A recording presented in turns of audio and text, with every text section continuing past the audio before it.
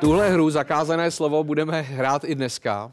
Eh, Prostě jedno slovo je zakázané pro naší debatu. Vy nevíte, jaké slovo to je, ti lidi už to vědí, na konci si to vyhlásíme, ale dneska si myslím, že je to trošku jedno. Mám pocit, že tuhle hru buď dneska vyhraje Genia nebo Suchoj. Takže to prdel. Takový slovo by to taky mohlo být. No. Přesně tak. Babiš.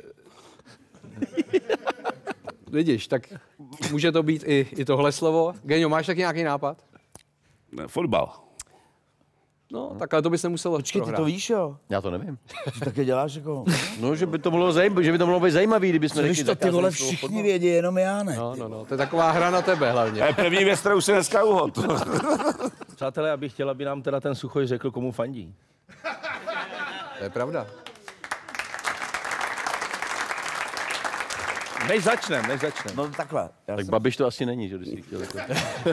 Není, není, není. Já jsem slávista, od jak živa, ale mně se pak stala fakt, a já se s ním opravdu jako si tak nesu v sobě, protože pak v nějaký době a ta Slávě začala hrát na Strahově a na Bohemce a furt tak střídalo.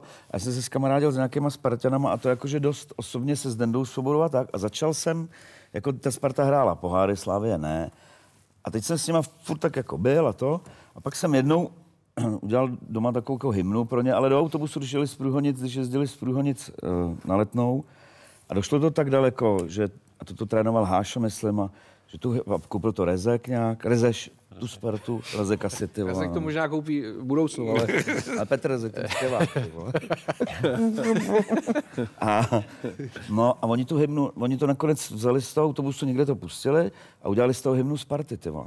A mě z ješitnosti to bylo docela příjemný, protože tam byly slova jako, uh, já nevím, železná košile a, a, a rytíři a takýhle. A oni to hráli fakt, hmm. jako když hráli Champions League, fakt to na tom stadioně hrálo. Jsem místo té znělky Ligy mistrů No, dokonce. když viď? nastupovali, neděj se prdel, to, to jsem tady já. Dobře. A já řekl zakázaný slovo, kurva, a druhý.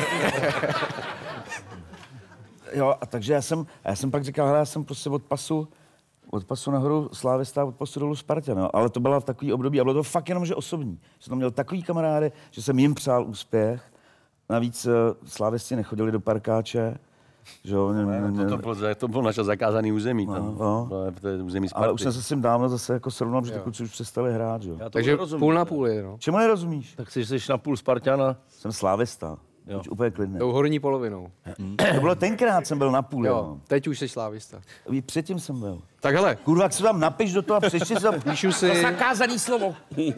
Suchánek, slávista.